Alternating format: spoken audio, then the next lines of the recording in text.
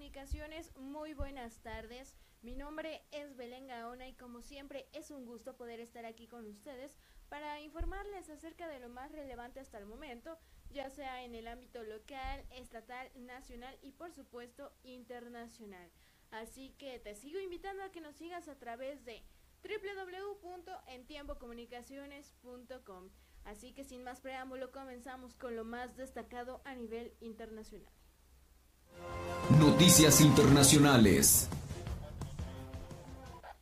Comenzamos con la información más destacada a nivel internacional. Te comento que al menos 21 personas murieron y 20 se encuentran heridas. Esto después de que eh, pues una camioneta en la que se desplazaban eh, a una boda cayera por un puente. Todo eh, esto en el estado de Madhya Pradesh, en el centro de la India. Este accidente ocurrió la pasada noche alrededor de las 21 horas locales después de que el conductor de la camioneta perdiera el control del vehículo, así eh, se explicó. Te comento que eh, pues Tandy indicó que las primeras hipótesis apuntan a que este vehículo en el que viajaban 50 hombres musulmanes circulaba con exceso de velocidad, lo que habría hecho perder el control al conductor eh, precipitándose al vacío sobre el cauce eh, seco de un río. Una veintena de heridos continúa bajo tratamiento en el hospital del distrito. Eh, estos accidentes de tráfico en la India son frecuentes a causa del mal estado de la red viaria y las precarias condiciones de algunos vehículos que pues a menudo circulan pues inclusive con mayor cantidad de pasajeros de los que pues está eh, para los que está destinada una unidad y pues hasta aquí con esta información acerca de pues este accidente carretero en la India que deja como saldo 21 muertos y al menos 20 heridos. Seguimos con más información, ahora pasamos a lo más destacado en el ámbito nacional. En Tiempo Noticias presenta información local.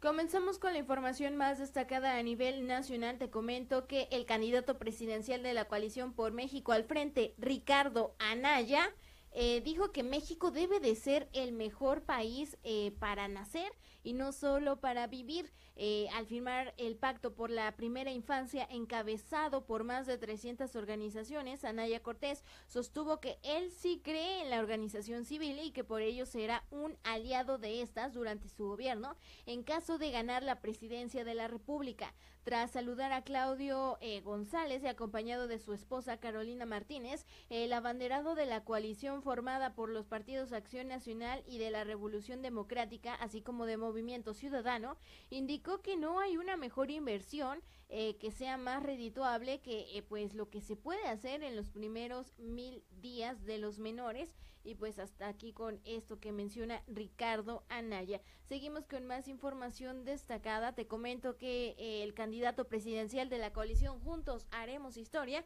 Andrés Manuel López Obrador, defendió el uso de una avioneta de una empresa que da servicios privados para poder trasladarse a Nogales y también a Guaymas. Agregó que eran más de mil kilómetros entre los puntos y por eso es que utilizó este servicio de taxi aéreo.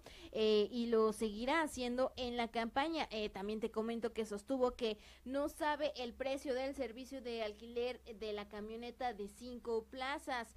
Eh, también comenta que primero le había mencionado le había mencionado que pues lo comenzaron a criticar que él mencionaba que si no llegaba al evento el problema era de el por qué no llegaba y que en esta ocasión ahora pues lo están prácticamente criticando debido a que usó lo que él comenta que es un taxi aéreo.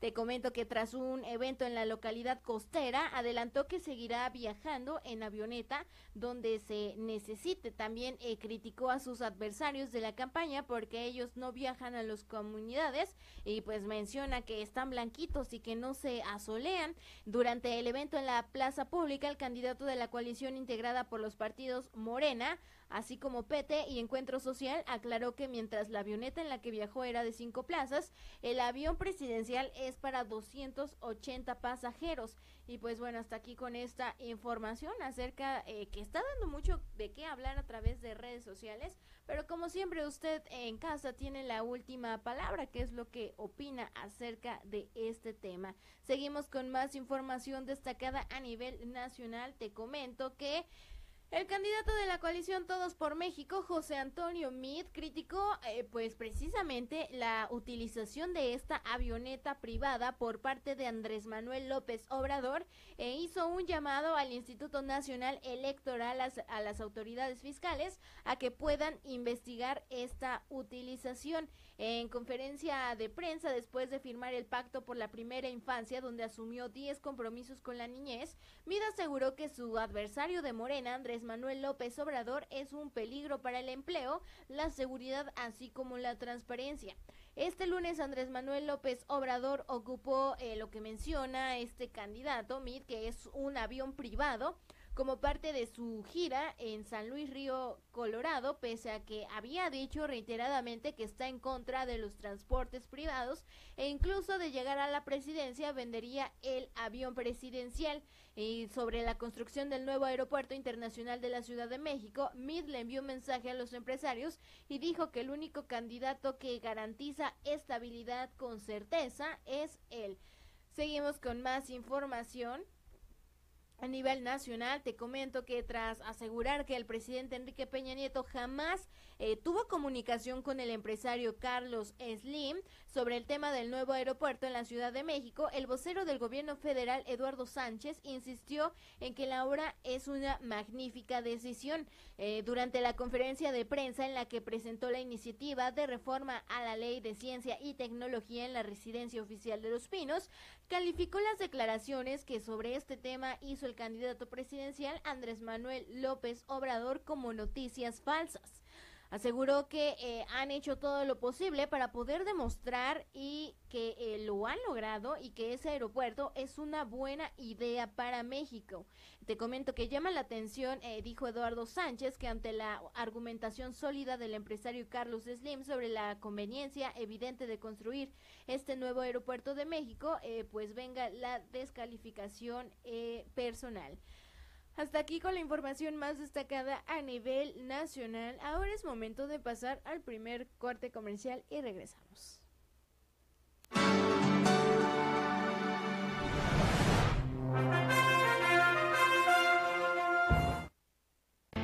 Los Morales, restaurante.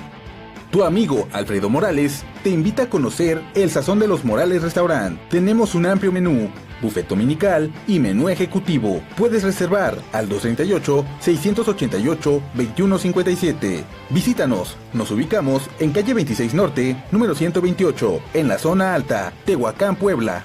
Los Morales, restaurante. Oxyfull. Mejora el rendimiento de tu vehículo y convierte el combustible normal en combustible premium a un precio súper económico. La mezcla perfecta. 20% de Oxyfull por 80% de gasolina magna. Es decir, 20 litros de gasolina magna por 5 litros de Oxyfull. Para mejorar el rendimiento de tu unidad. Oxyfull. Encuéntralo en la gasolinera de Avenida Peñafiel. Materiales y acabados el triunfo. Contamos con los mejores materiales de calidad para la construcción de tus sueños. Ahora es más fácil hacer tu pedido. Cotiza al 38 344 40. Visita nuestro portal web www.materialeseltriunfo.mx. Nuestra obra es servirte. Materiales y acabados el triunfo. Wendy's Burgers un rinconcito de sabor para ti. Te invitamos a que vengas y conozcas la gran gama de productos que tenemos para ti. Hamburguesas, hot dogs, papas, malteadas, refrescos, agua de sabor y muchas cosas más. Todo esto en sus diferentes especialidades. Recuerda que nos encontramos en la calle 7 Oriente número 139A, acá en Tehuacán, Puebla. Y no olvides que tenemos servicio a domicilio al teléfono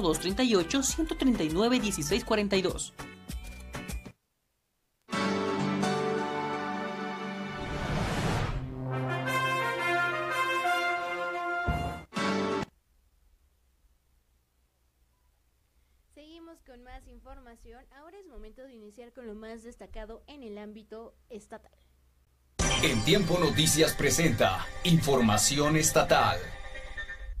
Comenzamos con la información más destacada a nivel estatal. Te comento que un grupo de pobladores de la Junta Auxiliar San Antonio Cacaloapan, perteneciente a San Andrés Cholula, cerró el retorno de la vía Atliscayotl antes de llegar a la caseta de cobro de la autopista Puebla-Atlisco, eh, esto frente a un supermercado, así como uno de los accesos al fraccionamiento Lomas de Angelópolis. De acuerdo con reportes en redes sociales, los quejosos cerraron esta vialidad al denunciar que al parecer ser una empresa constructora habría invadido sus terrenos. Asimismo, los manifestantes pidieron eh, más y mejores obras en su demarcación al tiempo de exigir un diálogo con las autoridades al asegurar sentirse ignorados. Según se eh, aprecia en eh, imágenes compartidas, se puede observar cómo los vecinos de Cacalotepec usaron camionetas tipo pick-up y de redillas para poder bloquear este paso vehicular. Te comento que desde el año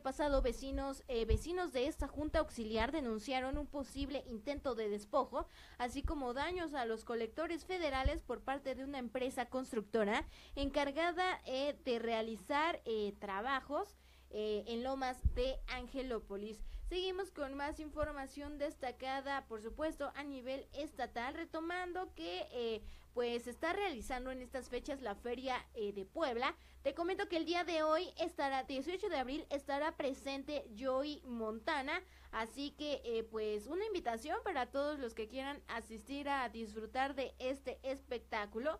De igual manera, eh, se te hace la invitación para que puedas asistir al foro cultural y, por supuesto, divertirte con todas las presentaciones que la Feria de Puebla tiene para ti.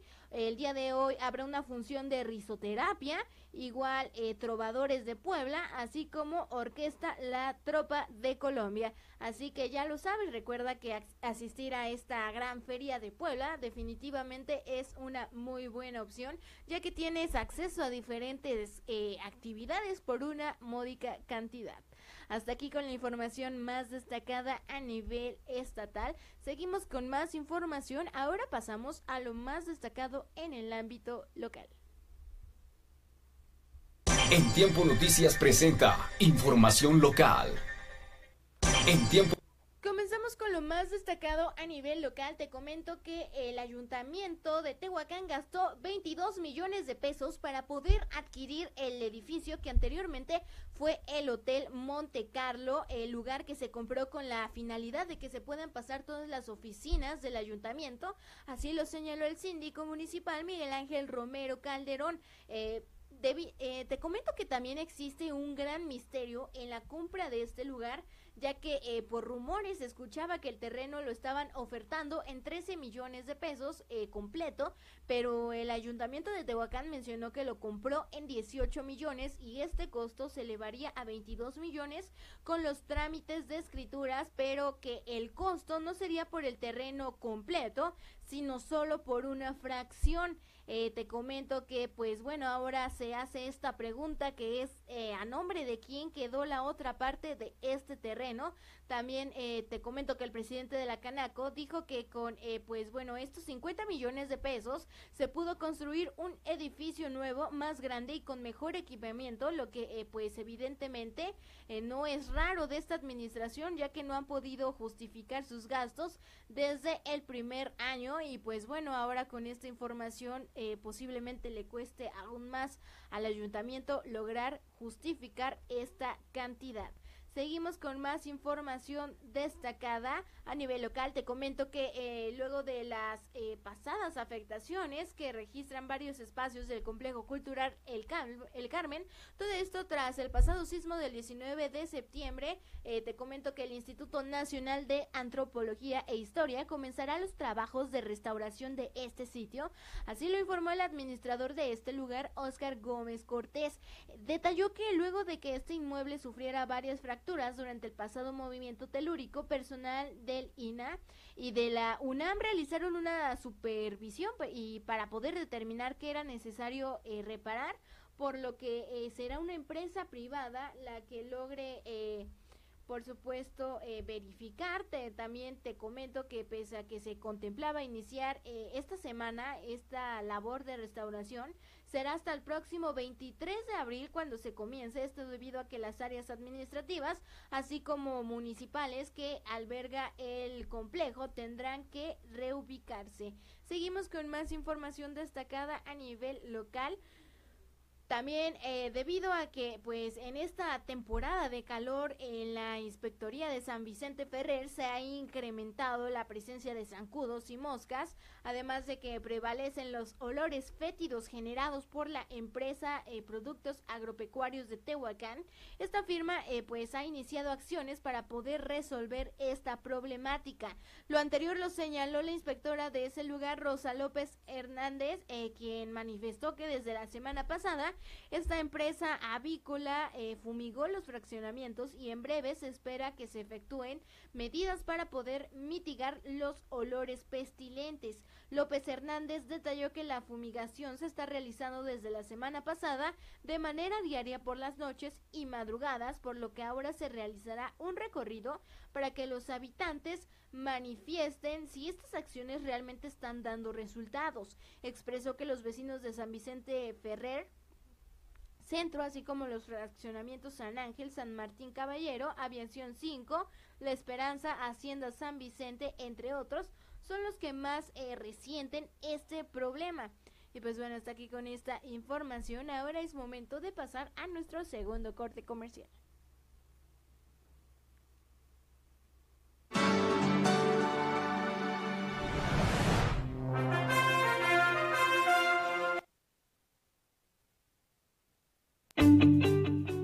Vista Verde, Country Club Tehuacán.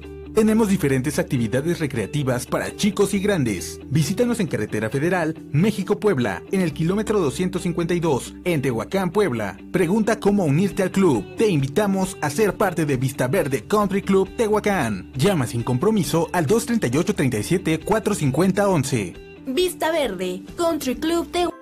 Ricafet, de la finca a tu mesa. Contamos con dos sucursales en Tehuacán, Puebla. Visítanos y conoce las bebidas, snacks y postres que tenemos para ti. Sucursal Cabaña, Avenida José García Crespo, a un costado del Hotel Casa Cantarranas. Sucursal Centro, Primera de Morelos, número 205, en el centro de Tehuacán. Ricafet, de la finca a tu mesa. Ricafet, de la finca a tu Hotel y Spa Casa Cantarranas. Un lugar exclusivo ideal para su fin de semana, con amigos o en familia. Cuidamos cada detalle para que su estadía sea placentera. Contamos con alberca, spa, gimnasio, áreas verdes, restaurant bar, salones de eventos especiales, salas de juntas y habitaciones de lujo. Reserva al 238 38 349 22. Único hotel en la ciudad de Tehuacán. Clasificación 5 estrellas. Hotel y Spa Casa Cantarranas.